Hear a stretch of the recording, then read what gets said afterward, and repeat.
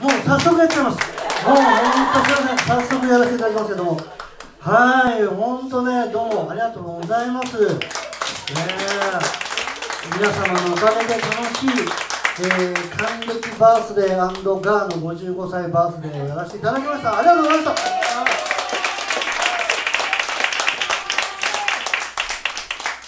さあ次次はね本当にハッピーバースデーの曲を歌いたいと思うんですけども。ここでねまだ歌ってないボーカリストが一人いるぞ。いるぞ。いるぞ。村上健二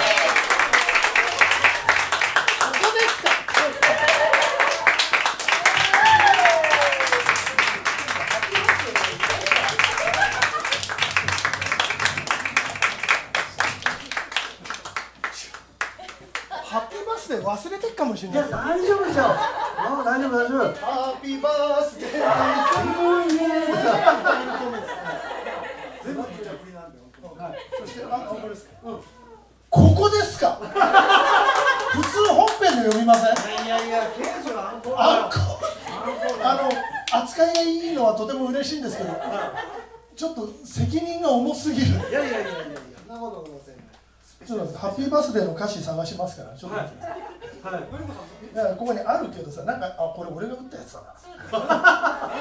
あの人が書いたのは読みづらいんだけどこれ俺が打ったやつだな。でもねは えこれ一人で俺全部歌うの？いいやいや。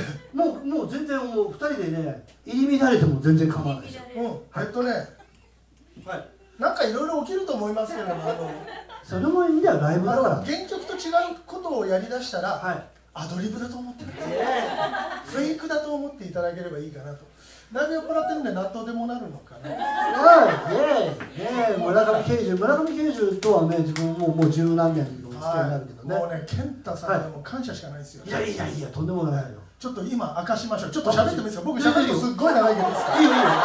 全あれ然だけコンパクトにしますいいよいいよ。健太さんの次ぐらいに長いです喋って喋ってちょうだい。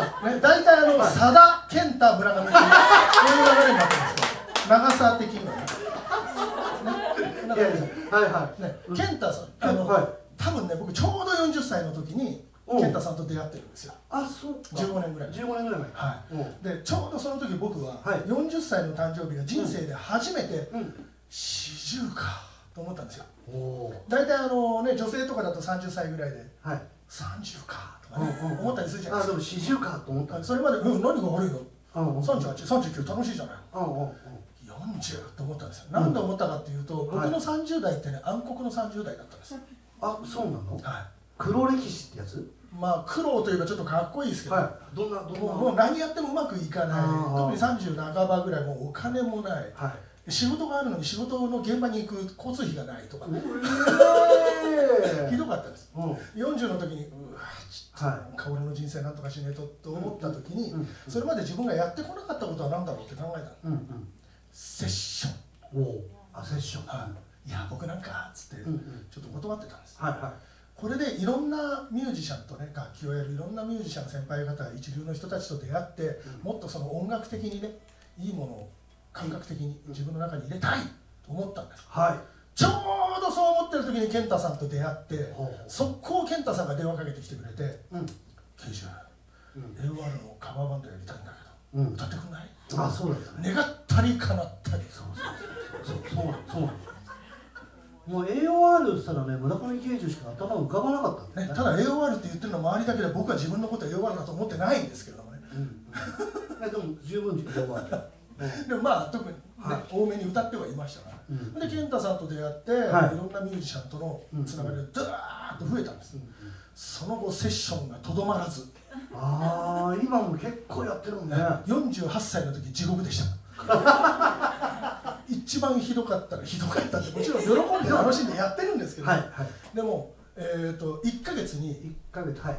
えーセッションライブが3本。うんうん。1本につき20曲から30曲。はいはいはい。俺は100曲ぐらい曲を覚えなければいけないっていう。はあボーカリストはそうだよねところが、えー、と49歳の時にうん。デビュー20周年ライブ、うんうん。僕10あ19じゃない。29で29はい。危ない。デビューして危ない。なんか19ししれっとなんかなんかねしれっとなんか10歳ぐらいごまかそうとしてしまいましたから、ね、ちょうど20周年って言ったらね、また皆さんいい人たちなのかわかんないんですけどね、気を使っていただいたのかいただけないのかたまたまなのかわかんないけど、スコーンとセッションなくなって。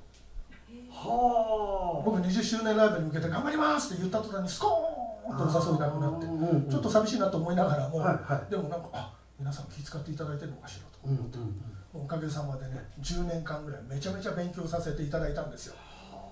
おかげさまで。いやいやいや健太さんスタートでございます。本当ありがとうございます。今初めて告白をいたしますけど。本当そうなの？いいや。酔っ払ってるんで動きがちょっと変な感じで。なんかなんか動きがちょっとなんかジョイマンみたいになってるんかねすいません。あでもなんかそう言っていただけるとなんか嬉しいんですけどね。健太さんは、僕の中ででっかい存在のなんかベスト3のうちの一人ぐらいマジですか。なんか横にはちょっと増えちゃったけどね。ああそれは私も同じ。それは私も同じことまあでもそういうねまあ本当にね男性ボーカルの中でも好きなボーカリストですよ。ありがとうございます。ありがとうございまはい本当気持ちいいんでね。すのりちゃんもね。はい。のりちゃんとやったのは水戸君水戸くんです。ですよね。水戸君っていうアーティストがいてそのコーラスで2人で。やりましたね。懐かしい。喋り長いでしょ？大丈夫大丈夫あのいつもいつもね自分のライブに来ていただいてる皆様なんでこれぐらいのね喋りぐらいもう健太さんが慣れてる感全然じよかったよかった。これぐらいそういう意味では同類。はいはいそうのりちゃんは水戸君っていうアーティストのデビューライブだよね。デビューライブでのした。時に一緒にお会いしてね。あの時のね電話おかしかったんだよ。あのベースの山内さんが、あのバンマスで。そうですで電話かかってきて僕はねそれその23年前にユーミンのコーラスのオーディションで落ちたところがあった。うるさいっつって落ちたってはあ出過ぎだと、うん、でその後にのりちゃんと一緒にコーラスのやってくれって言われて。ですいません僕ユーミンそういうことになったことなんですけど僕でいいんでしょうかっつったらアーティスト本人がめっちゃうるさいやつだからそういうコーラスを探しているんだと言われてあじゃあ私ですね。相方はっつったらうるさいって言われたんで。私うるさくなる。いや本当楽しかったですね。さっきのマイケルのやつがのりちゃんだと思ったんだ俺は。本当に？結構さウィスパーボイスでさーって綺麗に歌うじゃない基本的には。マイケルの時だけゴーンいったじゃん。あーっつってそれうなってないうなってない。ちゃんとボーンって出してる。そう。だ僕の中でののりちゃんはそういう人なんだけど、本当ののりちゃんはそうじゃないみたいなんだけど ねしっとりいい感じ。えしっとりしてますかはい。というわけでハッピーバースデーします。かイ。エーイ。ね本当じゃあボーカルジョイマンを交えて一曲いきたいと思います。ハッピーバースデー聴いてください「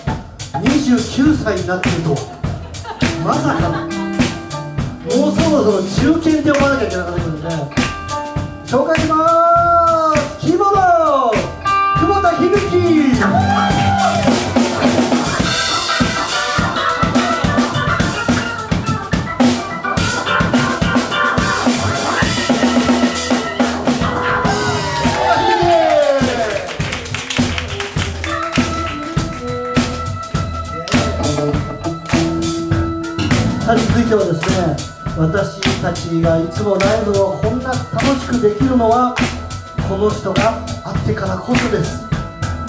皆さんに紹介したいと思います。サックス小川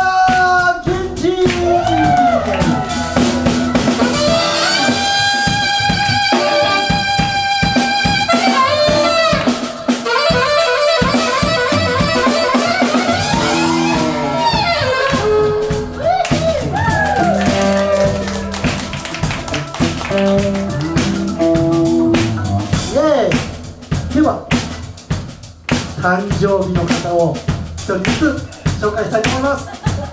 イエーイ。まずは55歳に2ヶ月前になりました。ドンスガーイエーイドンスガー！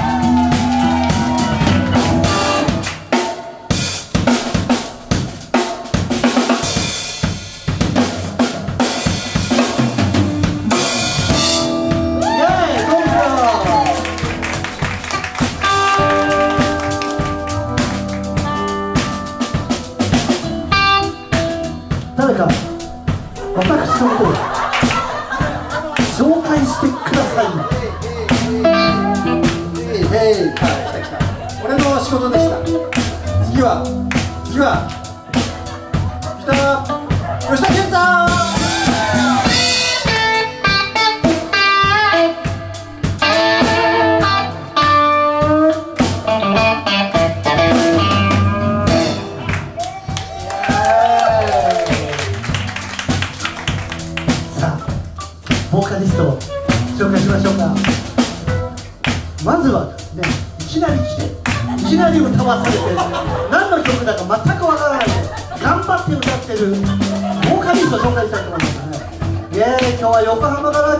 ました。ベロン